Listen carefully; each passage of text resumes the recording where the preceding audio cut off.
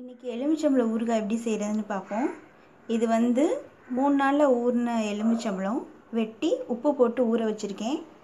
ஜாடியில் வச்சிங்கன்னா அது எதுவும் ஆகாது நல்லாயிருக்கும் ஏன்னா உப்பு போடுறனால ஜாடியே யூஸ் பண்ணுங்கள் ஊறுகாய்க்கு வந்து வெந்தயமும் கடுகும் எண்ணெய் இல்லாமல் வறுத்து வச்சுருக்கேன். இந்த அளவுக்கு எடுத்துக்கோங்க. அப்புறம் வந்து நல்லெண்ணெய் தேவையான அளவு நல்லெண்ணெய். ஒரு கடாயில் நல்லெண்ணெய் ஊற்றிருக்கேன்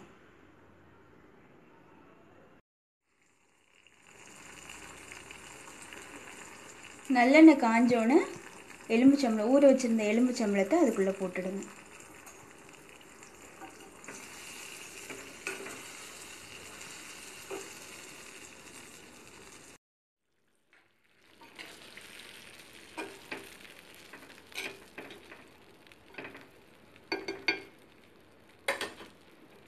இது நல்லா கொதிக்கட்டும்.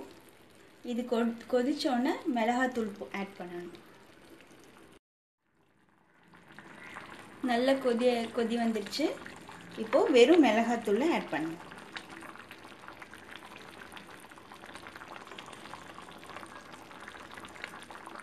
உரப்புக்கு ஏற்ற மாதிரி மிளகாத்தூள் ஆட் பண்ணிக்கோங்க.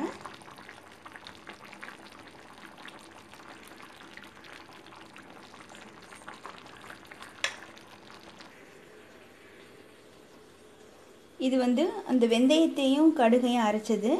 ரொம்ப நைஸாக அரைச்சி அரைச்சிடாதீங்க. கொஞ்சம் குறை குறைன்னு அரைச்சிக்கோங்க இந்த மாதிரி. இப்போ வந்து இதை ஆட் பண்ண போகிறோம் இந்த இதில். அந்த வெந்தயத்தையும் கடுகை பவுடர் ஆட் பண்ணியாச்சு. இப்போ வந்து அடுத்து பெருங்காயத்தூள். பெருங்காயத்தூள் ஆட் பண்ணிக்கோங்க.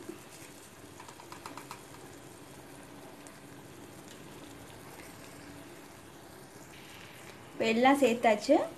எண்ணெய் தனியாக திரிஞ்சு வர்றம்போது அடுப்பை ஆஃப் பண்ணிடுங்க. ஆஃப் பண்ணிவிட்டு நல்லா ஆற விட்டுடுங்க. ஆற விட்டதுக்கப்புறம் ஜாரில் போட்டு வச்சிடுங்க. அவ்வளோதான் எலுமிச்சை ஊறுகாய் ரெடி தேங்க்யூ